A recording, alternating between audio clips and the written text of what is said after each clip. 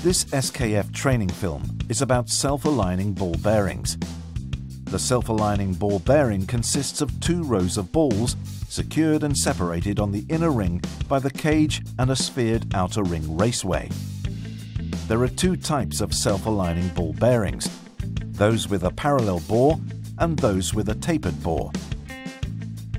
The parallel bore types are mounted and dismounted with the same procedures as used for deep groove ball bearings with a parallel bore. This film concentrates on the tapered bore type because they are mounted and dismounted in a particular way.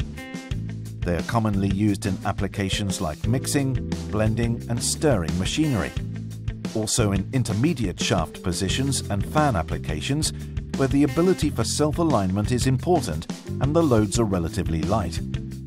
When mounting a self-aligning ball bearing with a tapered bore, SKF can supply a lock nut spanner kit that ensures that the correct bearing adjustment is achieved. Make sure that the work area is kept as clean as possible. Do not remove the bearing from its package until everything is ready for mounting it.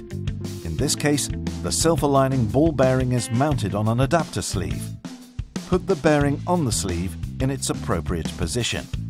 Screw on the lock nut, but without the lock washer. Hand tighten the lock nut by using the lock nut spanner until bearing and sleeve grip the shaft.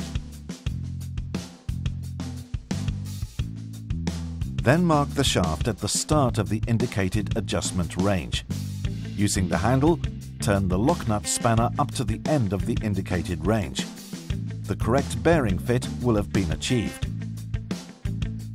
Remove the lock nut and place the lock washer by securing the nut back on the sleeve.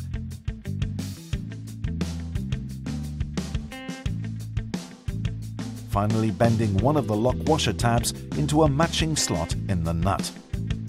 The correct mounting procedure for self-aligning ball bearings with tapered bore is completed.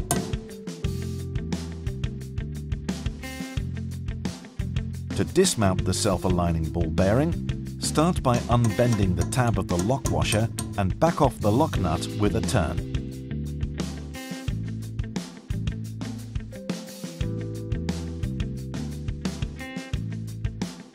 Place a suitable steel segment behind the bearing and with some sharp hammer blows, the bearing will be driven off the tapered sleeve, releasing it from the shaft.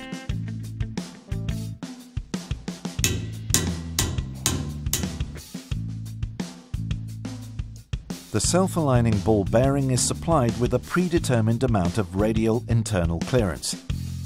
When driving the bearing up the tapered seating, take care not to drive it too far, so removing all the internal clearance, as this will impair the performance of the bearing and dramatically reduce its service life.